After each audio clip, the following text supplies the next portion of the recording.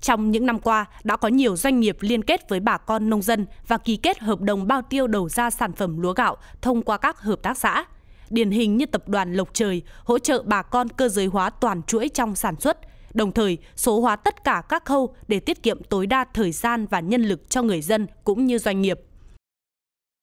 Trong quá trình à, sản xuất mùa vụ thì Lộc Trời sẽ à, hỗ trợ về các cái cơ giới hóa à, toàn chuỗi đó là liên quan cung cấp rôn, phun rôn, cung cấp xạ, gieo xạ và các hình à, các dịch vụ cày cấy. À, trong suốt quá trình đó thì sẽ có hỗ trợ về à, về cái à, nhật ký điện tử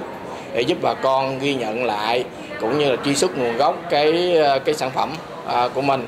à, nhưng mà hiện tại là cái nhật ký đó là thông qua à, anh em kỹ thuật của ba cùng để mà ghi nhận theo đánh giá của các chuyên gia trong lĩnh vực nông nghiệp, người dân còn chưa tiếp cận được nhiều với công nghệ. Điều này có thể coi là trở ngại lớn đối với quá trình chuyển đổi số. Bởi lẽ đó, để người dân dễ tiếp cận, có kiến thức cũng như kỹ năng sử dụng các thiết bị thì đòi hỏi công nghệ đưa ra phải gần gũi với người nông dân.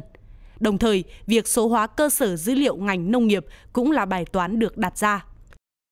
Các cái công nghệ số nó phải phù hợp với nông dân, nó phải tiếp cận được với nông dân và dịch ra ngôn ngữ của nông dân. Đồng thời thì nông dân cũng phải được nâng cái kiến thức để thay đổi cái tư duy. Cái thứ hai là cơ sở hạ tầng. Thì cái cơ sở hạ tầng hiện nay á, đối với internet thì ở Việt Nam mình là tương đối tốt so với một số nước Đông Nam Á khác. Tuy nhiên là cái cơ sở hạ tầng về nông nghiệp số á, thì mình phải số hóa toàn bộ ngành nông nghiệp trước tức là phải chuyển toàn bộ cơ sở dữ liệu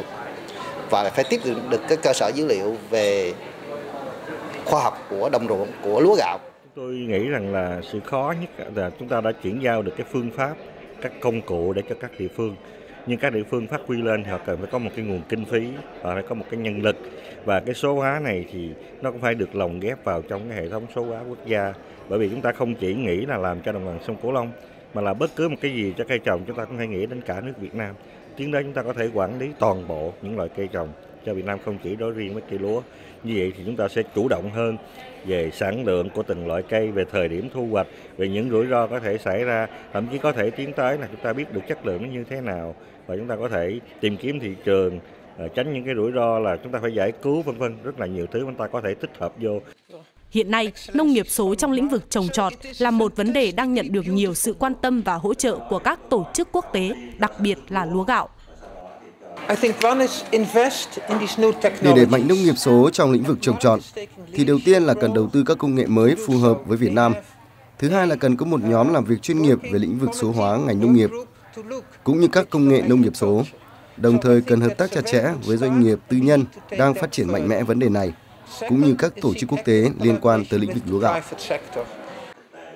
Tại hội thảo tham vấn nông nghiệp số trong lĩnh vực trồng trọt do Cục Trồng trọt phối hợp với Viện Nghiên cứu Lúa gạo Quốc tế tổ chức mới đây, các chuyên gia, nhà khoa học cũng đưa ra nhiều công cụ có thể hỗ trợ hiệu quả cho người dân, doanh nghiệp và các địa phương, như công cụ xác định và quản lý rủi ro sâu bệnh và dịch bệnh, các công cụ kỹ thuật số của Viện Nghiên cứu Lúa gạo Quốc tế và các hệ thống hỗ trợ ra quyết định. Bên cạnh đó, việc cơ giới hóa thông minh và quản lý sau thu hoạch cũng là một vấn đề quan trọng thu hút được nhiều sự quan tâm.